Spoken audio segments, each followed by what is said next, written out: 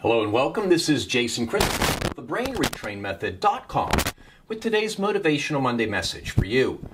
I want to let you know that you should keep putting one step in front of the other, and eventually you're going to get there.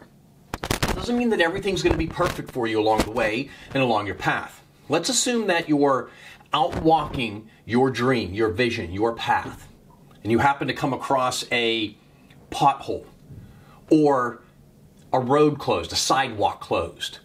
You can stop for a moment, but then after you reassess the direction you should be walking, take that next step. It happens with me all the time. It's little things that pop up that you don't expect or weren't anticipating, and then all of a sudden, you got to kind of divert your path a little bit. But eventually, if you keep putting one step in front of the other, you will get to your final destination. So don't stop, keep moving forward, because if you're not moving forward, you're falling behind.